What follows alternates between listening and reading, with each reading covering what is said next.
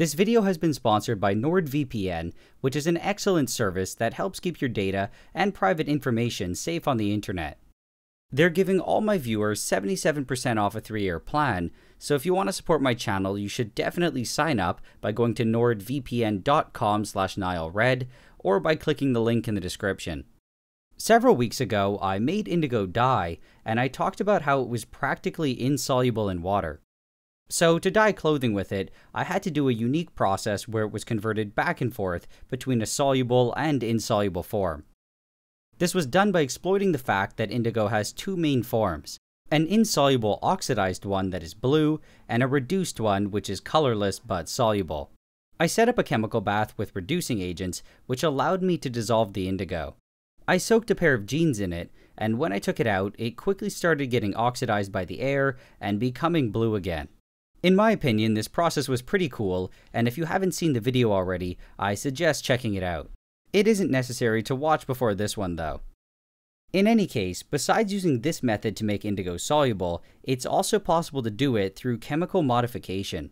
By adding some groups to it which are more water friendly, it's possible to greatly increase its solubility.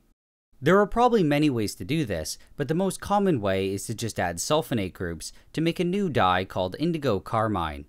In water, indigo carmine gives a very rich blue color, and it's approved in the US and Europe as a food additive.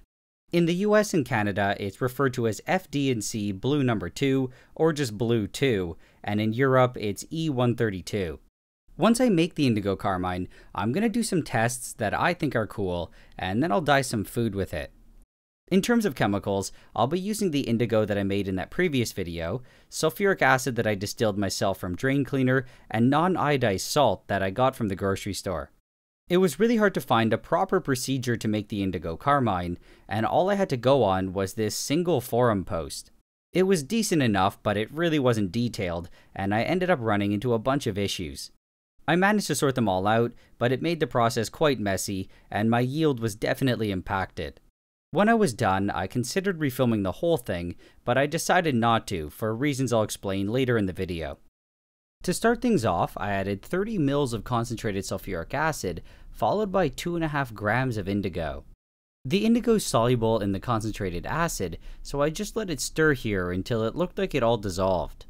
Then, I placed it in a boiling water bath for about 30 minutes. What I'm doing here is reacting the indigo with the sulfuric acid to make indigo disulfonic acid as the major product. However, to a certain extent, I'll probably also make some tri and tetra substituted ones. The number of sulfonic acids that are ultimately added depends entirely on the reaction conditions, i.e. the temperature, the acid strength, and the reaction time. Under these particular conditions though, it's supposed to pretty much only make the di-substituted product. However, if it's left longer than 30 minutes, the other products would probably start showing up. So 30 minutes later, I took it out, and I immediately poured it into 150 mils of cold water. It was very important to use cold water here, because adding sulfuric acid to water generates a lot of heat.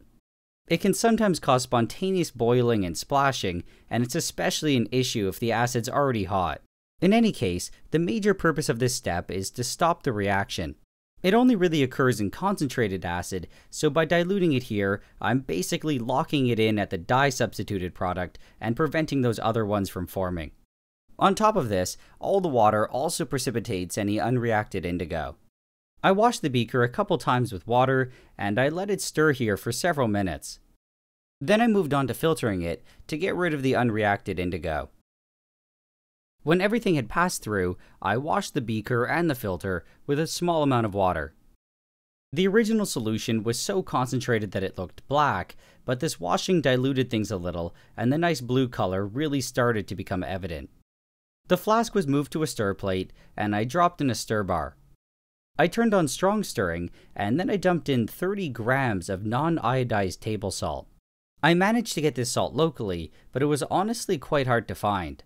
The salt that's sold at most stores is iodized, and it would probably work fine, but it does introduce impurities. In any case, when the salt was added, it reacted with the indigo disulfonic acid to form the corresponding disodium salt, which is the indigo carmine, as well as hydrochloric acid. Some of the salt also reacted with leftover sulfuric acid to make hydrochloric acid and sodium sulfate. A large excess of salt was used here to not only make sure it could react with everything, but to also separate the indigo carmine from the solution through something called the common ion effect. I don't want to get into too much detail, but basically, both indigo carmine and sodium chloride have a sodium ion in common, but the sodium chloride is way more soluble.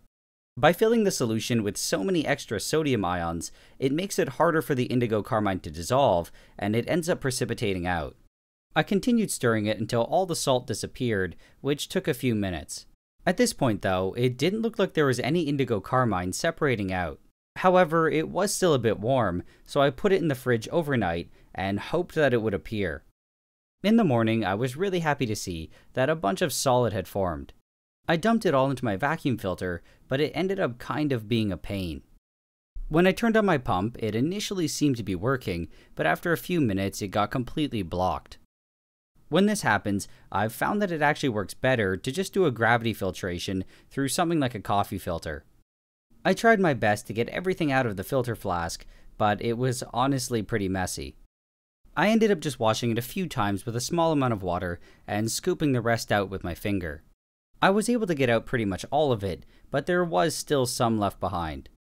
I also rinsed the original flask with some water and dumped that on top. I let it sit there to filter through, and about 5 hours later, this is what I was left with. To finish drying it, I took it out of the strainer and I put it on some paper towel. I also set up a fan off screen to try to speed it up. The next day, it should have been completely dry, but it was still kind of pasty. I started separating it from the filter, but I had to be careful because it had become quite weak. I kind of expected this though, because I wasn't able to give it a proper washing step yet, and there's still a bunch of leftover acid that attacks the paper. What's interesting is that it actually turned out to be a good thing that it was still kind of wet. I found that if it had completely dried, it would have just stuck to the filter and been impossible to remove. I was able to separate pretty much all of it after just a few minutes, but there were still some that stayed stuck to the filter. The dye is really dark, so it kind of looks like it's a decent amount, but it actually wasn't very much. I transferred it all to a glass dish, and then it was time to clean it up. Ideally, it would just be washed with water, but since indigo carmine is soluble in water, it isn't ideal. The guy on the forums had to wash it with a saturated salt solution, but that would mean there would be salt left in my final product. I wanted it to be as clean as possible, so I decided to wash it with methanol instead. I went with methanol because it dries faster, it can remove small amounts of salt, and it would also pull out residual water. Indigo carmine isn't very soluble in it, but I still used as little as possible. I then mixed it around with a spatula, and I broke up all the chunks. I occasionally added small amounts of methanol, and I was eventually left with this goop. I dumped it into a coffee filter, and I washed the dish with some more methanol. Like before, I let almost all of it pass through, and then I moved it to some paper towel. After 40 minutes, most of the methanol had evaporated, and I carefully moved all the indigo carmine back to the dish. I spread out the paste to help it dry, and over the next 6 hours, it completely solidified. I broke it up into pieces, and this was the result. There was a whole bunch of white stuff mixed in it, and I think this was just salt. It was a lot more than I expected there to be, and it was pretty clear that methanol wasn't the best choice here. There weren't many options though, and it seemed like the only way to really get rid of the salt was to just suck it up and to wash it with water. While indigo carmine does dissolve in water, it's not that soluble, and only about a gram will dissolve in 100 mils. So I figured that if I used at most 10 mils of water, I would lose about 0.1 grams here, which I was okay with. I added it all to a filter, washed the dish thoroughly with a small amount of water, and then added that on top. I mixed it around for a few minutes, and I made sure that there were no chunks left. I turned on my pump to pull off the water, but as expected, it went through really slowly. The filter getting blocked here, though, isn't as big of an issue compared to last time because the volume of water that I need to pass through isn't nearly as much. In all honesty, I should have just used a coffee filter again, but for some reason I was really optimistic that this filter funnel would work. Anyway, I ended up washing it three separate times and used a total of 10 mils. After the last one, I left the pump on for about 10 minutes to try to dry it up as much as possible. Then, just using my finger, I scraped it all out and put it on a small filter paper. I left it out to dry overnight with a fan, and this is what I was left with in the morning. It was almost completely dry and stuck to the paper, so unfortunately to get it off, I had to wet it again. I waited a few minutes for it to really soak in, and then I separated it like before. I put it all back onto my trusty dish, and I waited for it to dry.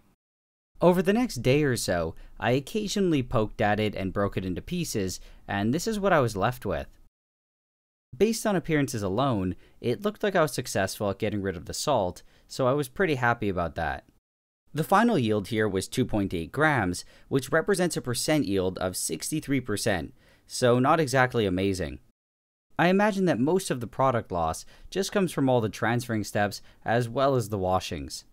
If I were to do this again, I would just wash it with a small amount of water after the first filtering step, and that would be it. I also wouldn't try vacuum filtering it at all, and I would just stick with the coffee filters. At this point, I considered refilming everything and just showing you guys a polished version, but in the end, I decided not to. And no, it's not just because it would have been a lot of extra work. When I can, I like to show the issues that I run into because I feel it gives a more realistic view of chemistry. Some sort of problem is always popping up, and it's all about figuring out how to deal with it. In my opinion, it's also the most exciting and interesting part because it actually allows me to apply my own ideas and knowledge.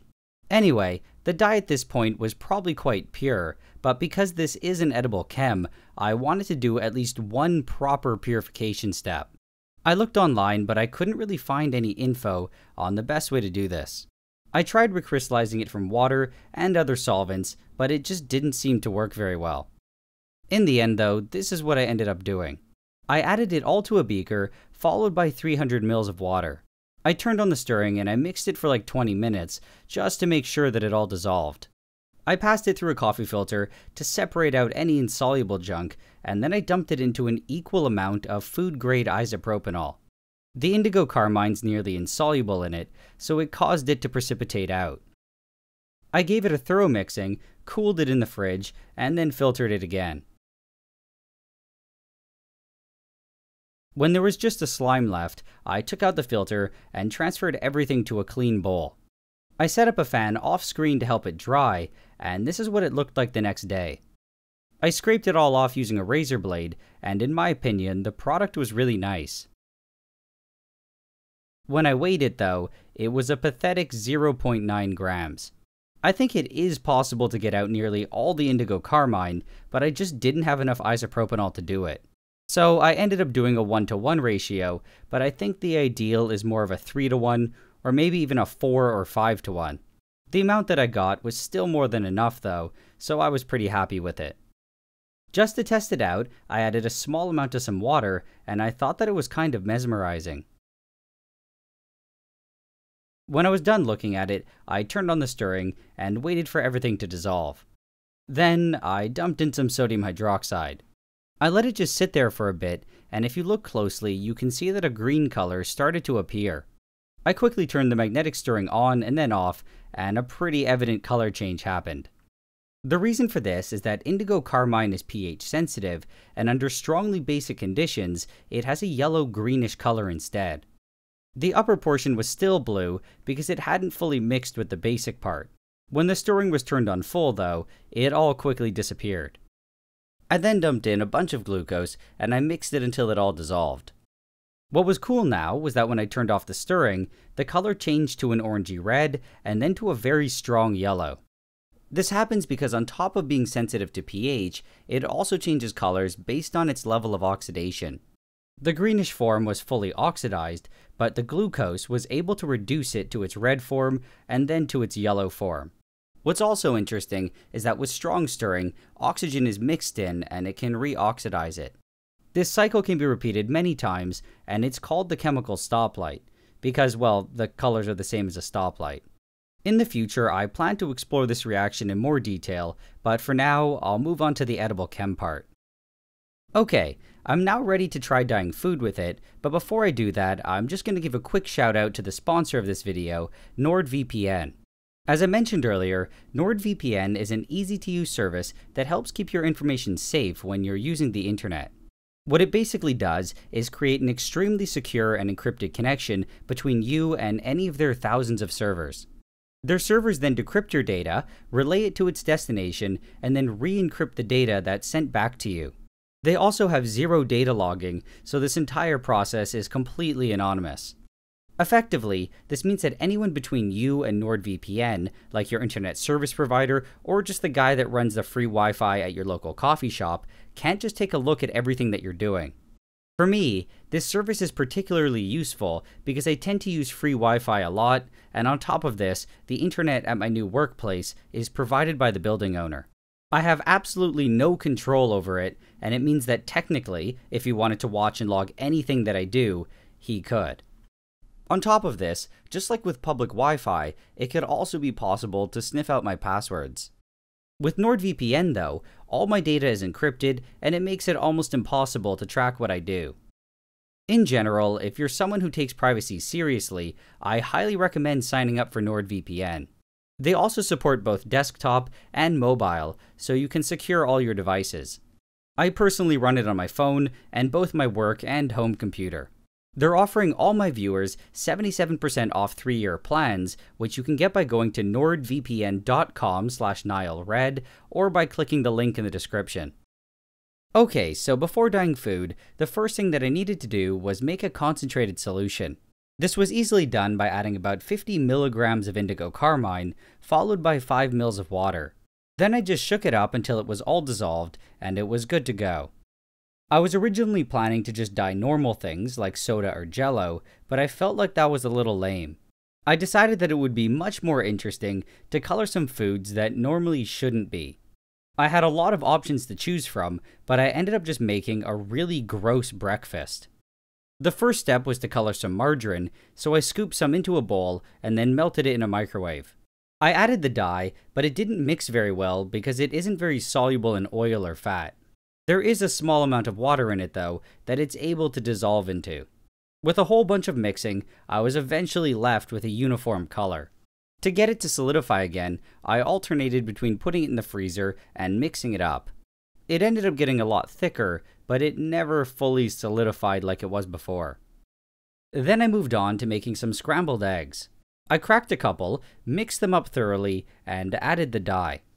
I initially only added 5 drops, but the color wasn't as strong as I wanted it to be, so I added some more. Because the eggs were already yellow, it became a dirty green. When I felt I was happy with the color, I added some salt and pepper. At the same time, I had prepared a pan by oiling it with the colored margarine. The only issue, though, was that the high heat very quickly destroyed the blue color, which was kind of sketchy.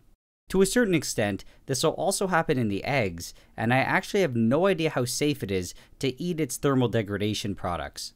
In any case, I went ahead and added the eggs, and I just moved everything around with a spatula. The heat was a bit too high here, and I'm also horrible at cooking, so yeah. When they looked about ready, I took them off the stove and temporarily put them on the side. As the eggs were cooling a bit, I quickly popped a couple pieces of bread in the toaster. When they were done, I covered them with a good layer of the blue margarine, and I cut them in half. I ended up putting on a lot more margarine than I normally would, just to make the color more evident.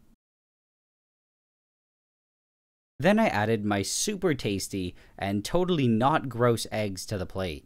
I'm not sure if you guys feel the same thing, but just looking at these eggs really grossed me out. I knew the only difference was color, but it still kind of made me a bit nauseous. I was honestly really surprised how much it grossed me out, considering it was just a color change.